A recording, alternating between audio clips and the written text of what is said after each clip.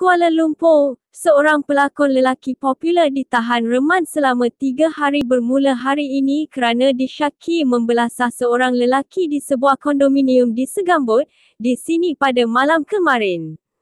Ketua Jabatan Siasatan Jenayah, Kuala Lumpur, Senior Assistant Commissioner Habibi Majenji berkata, Kejadian itu berlaku pada pukul 8.30 malam ketika mangsa dilaporkan meminta tolong rakannya untuk membeli minyak masak di luar kawasan kediaman berkenaan.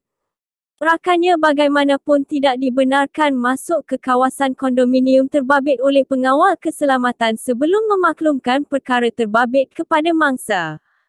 Mangsa kemudian turun ke lift lobi kondominium itu sebelum bertanya punca rakannya tidak dibenarkan masuk untuk menghantar minyak masak yang dipesan, katanya. Mengulas lanjut, pertengkaran mulut dipercayai berlaku antara mangsa dan pengawal keselamatan terbabit sebelum pelakon lelaki yang juga suspek secara tiba-tiba datang sebelum menumbuk serta menendang mangsa. Mangsa mendakwa suspek yang berusia lingkungan 30-an itu menumbuk dan menendangnya di bahagian muka, dada, perut dan belakang badan, selain mencekik dan mengugut akan membunuhnya, ujarnya.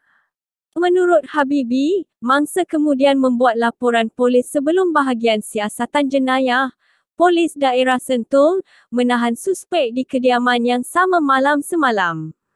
Katanya, Suspek kini ditahan di reman selama tiga hari bermula hari ini bagi membantu siasatan.